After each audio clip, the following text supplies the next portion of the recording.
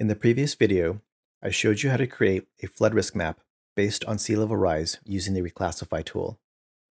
In this video, I will show you how to create a 6x6 inch map and export it as a PNG file at a resolution of 300 dpi. In ArcMap, you should always design your maps in Layout View. From the menu at the top, go to View, then Layout View. When you switch to Layout View for the first time, the Layout toolbar will appear floating above the map. To keep things neat, just dock the toolbar at the top. Before starting your map, it is important to make sure the map layout is the exact size and shape you plan to use it for. By default, ArcMap uses the printer settings, which is typically a page size of 8.5 by 11 inches. Unless you plan to use the map at this size, it is a really bad habit to accept these layout defaults when designing your map. So for example, if you needed a small 6 by 6 inch map for a report and design the map using a layout of 8.5 by 11 inches, you would have to shrink the map down after the fact. Aside from annoying your professors, this makes your map hard to read. If you need a 6 by 6 inch map, design your map using a 6 by 6 inch layout. The point is to avoid resizing your map image later on. In this example, I'm going to design my map using a 6 by 6 inch layout. The maps will be placed in a Microsoft Word document the purpose of the maps will be to serve as a figure in a report or summary. When changing the layout size, there are always two steps. You need to change the paper size.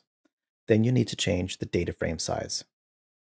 The first step is to change the paper size. To do this, go to File, then Page and Print Setup.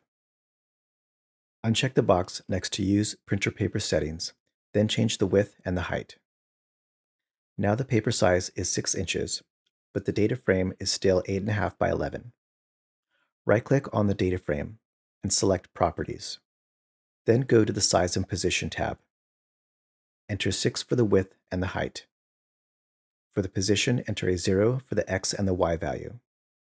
Click OK when you are ready. Before I begin, I'm going to create a hillshade to use as a background. You can find the hillshade tool in the Arc toolbox under Spatial Analyst and Surface. For the input, I'll use the digital elevation model. For the output, I will save it to my working folder and call it Hillshade. The result is an elevation represented as shaded relief. I'm going to drag my hillshade to the bottom of the table of contents. Then I will place the digital elevation model on top. I'll make the digital elevation model 50% transparent to soften up the hillshade a little. You can literally spend hours on making a hillshade look nice. This step is a very quick way to improve the look of your hillshade if you don't have that much time. I'll change the background color of the data frame to blue and adjust the border. Now I'll position my map extent to focus on areas around Humboldt Bay, near the city of Arcata and Eureka. Once I have my map positioned the way I want it, I'll create a spatial bookmark.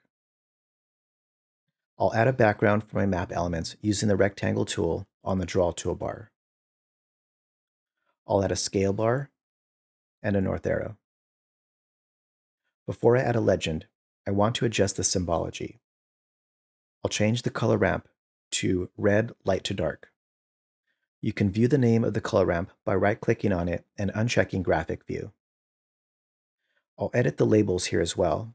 These labels will eventually show up on my legend. I think I'll make my flood risk layer a little transparent as well. You may have to test out several levels of transparency to get the right balance.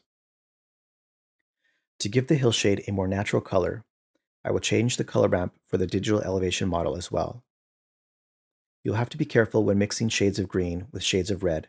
Some people have trouble distinguishing between them. To make the map more accessible, I'll change the red to purple. Now I'm ready to add a legend. To export the map, go to File, then Export Map. This is another place where students make mistakes. Don't rush the next few steps. Navigate to the folder where you want to save the map image. In this example, I'm saving it to my final folder. I'll call the file Flood Risk. Change the file type to PNG.